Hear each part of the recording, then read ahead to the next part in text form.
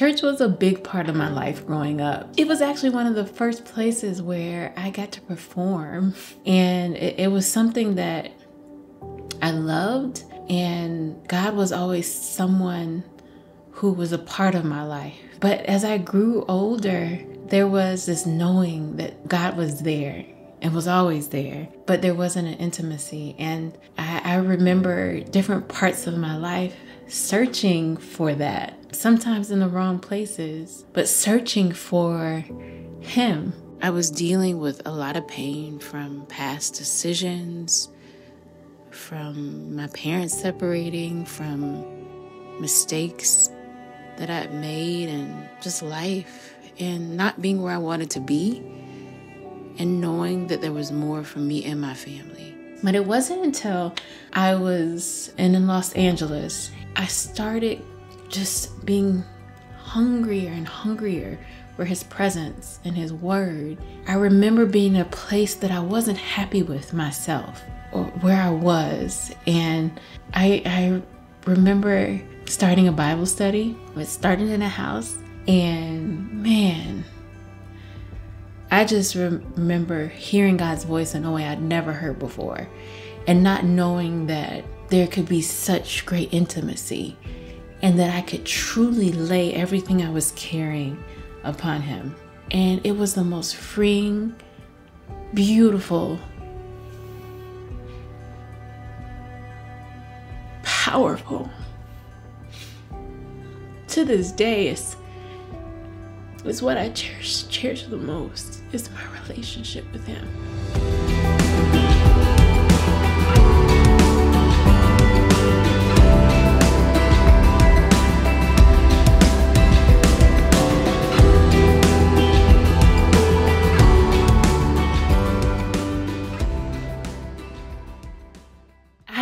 Honestly, for whatever reason, never was someone who had visions of my wedding. Um, even as a child, I just, it wasn't on my mind. And I remember starting to desire companionship. But there was a moment where I was growing in my walk, and I remember there was this big deal that was happening in my career that I just knew was going to change. It was going to change everything.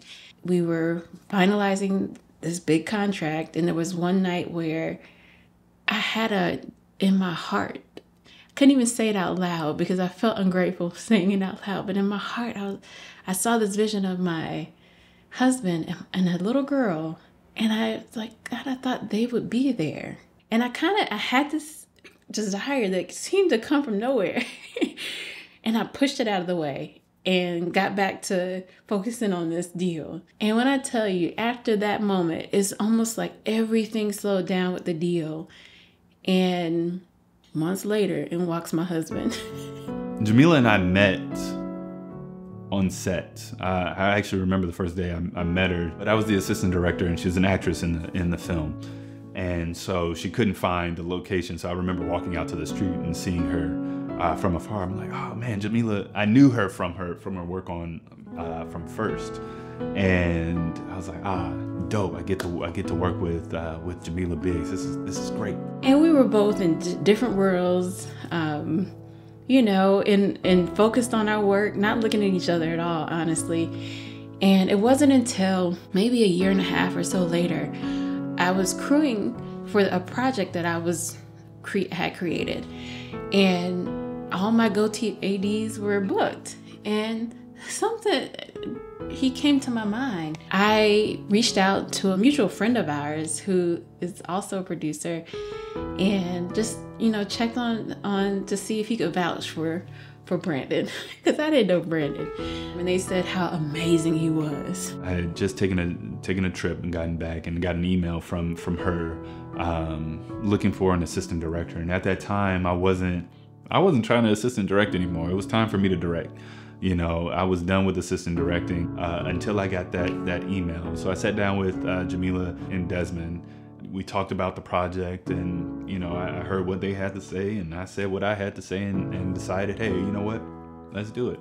I'll do it. This will be the last one. We worked together uh, for about a month and we were very focused on on the work. I know my eyes weren't open yet and I don't think his were, were either. What I did notice about him was how he was such a wonderful leader. He led with so much love, but firmness and confidence. I was really impressed by the way he led and the way he supported my vision and the other creators' vision for the project. It wasn't really until the end where, you know, I'm like, oh man, this Jahmela's cool. You know, and, and like the scales or the, the, the you know, the veil kind of fell and I was like, oh, wow, Jahmela's dope.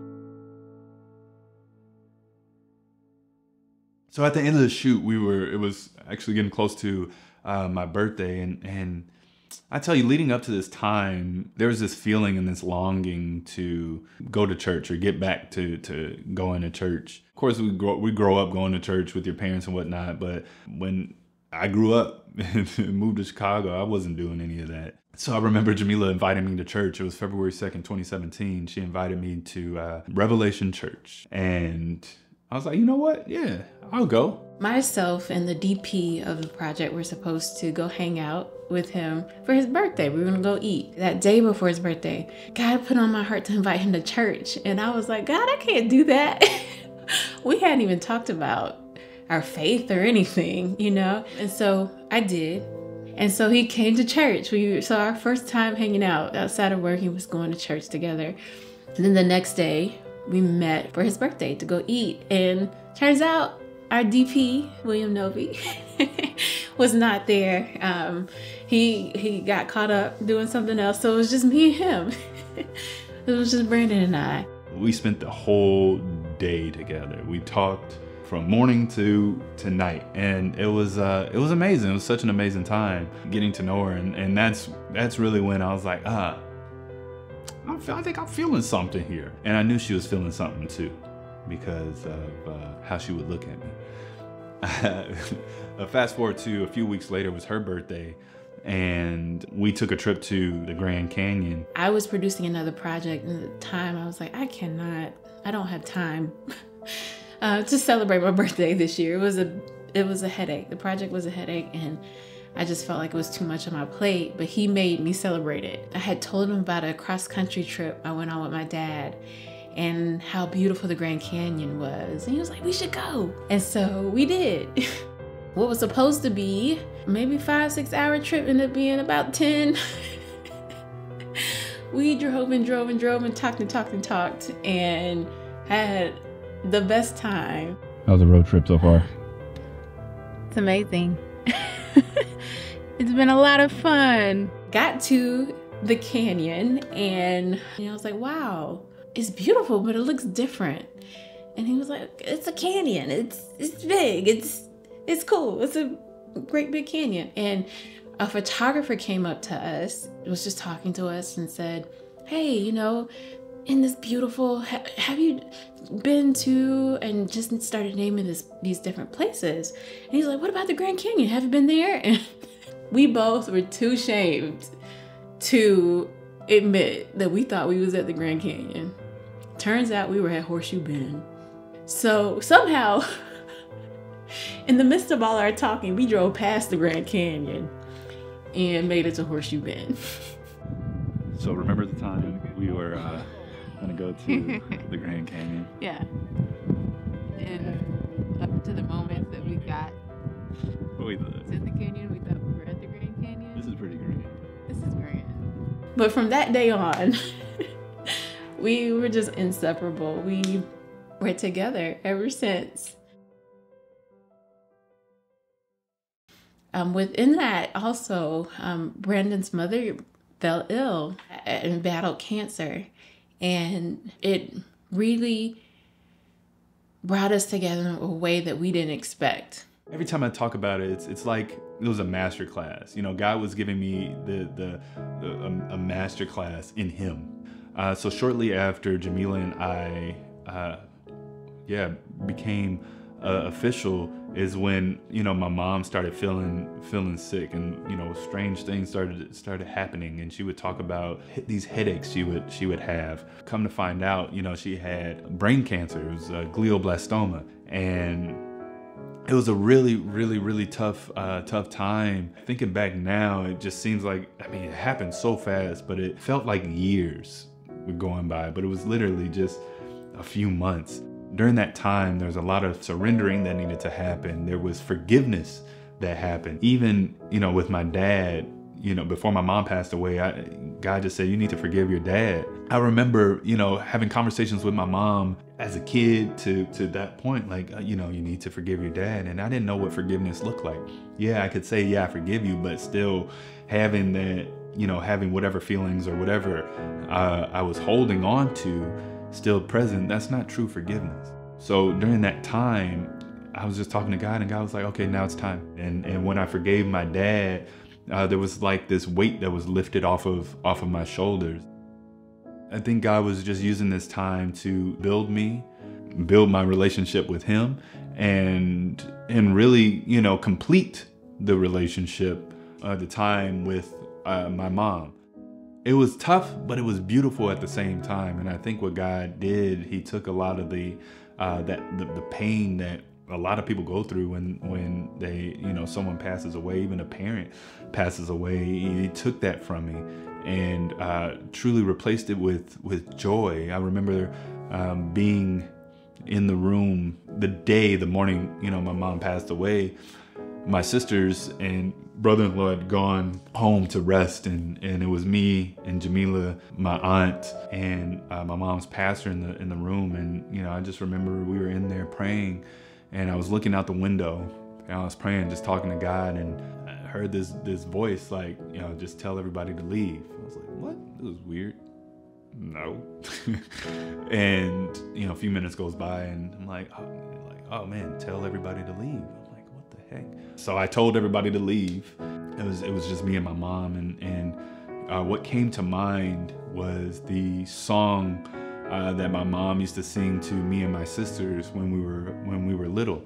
And I didn't remember all the words, but I tried to, you know, sing it the best that I could. and literally within five minutes, she was gone.